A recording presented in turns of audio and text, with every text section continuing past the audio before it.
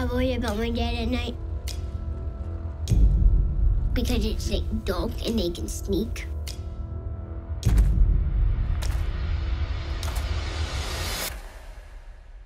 And then they can go.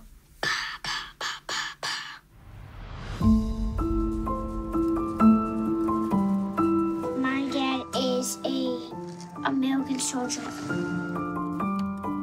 My dad is my superhero.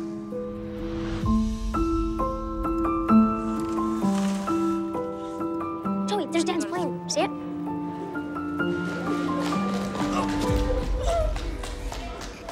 I love you guys.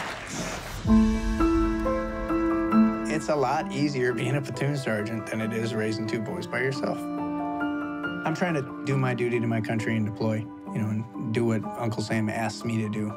But, you know, what's everybody asking my boys to do?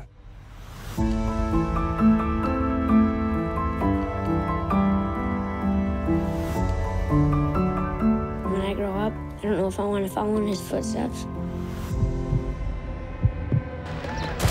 All I remember is snap, snap, burn, chainsaw. It was hard thinking he actually got shot by a real bullet from a real gun, from a real person. I absolutely wish I was still in the Army. I had an identity, and now, who am I? PTSD, but he's not engaging with us. Everything's stressful. He's a lot more on edge lately. You're not the one banging into frickin' door jambs every day. I'm not sure his injuries were worth it all. How long do I stay motivated?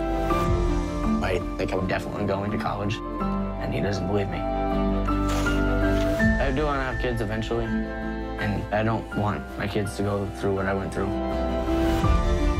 You always think back, would you change something or would you done this different?